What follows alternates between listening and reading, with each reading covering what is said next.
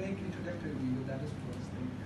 And during your teaching practice, make sure someone is making your video.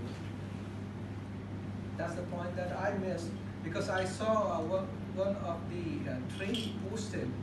Uh, he, did the training in uh, Thailand. He posted in Active group that uh, he sent that teaching practice video, and that that was awesome. Like that made wonder, and he was selected because of that teaching practice.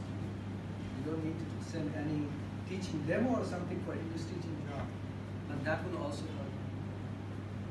So along with your CV introductory video, you can keep that too.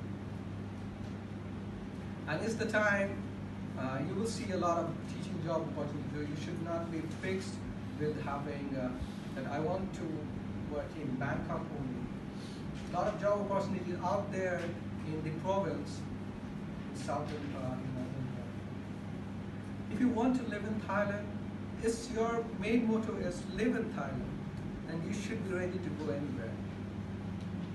But your, if your aim is to be in Bangkok to see the city life, then it's, it's quite a bit difficult.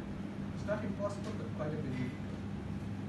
And in province, luckily, if, if you are lucky, you will get uh, accommodation, so you need not to be worry about accommodation.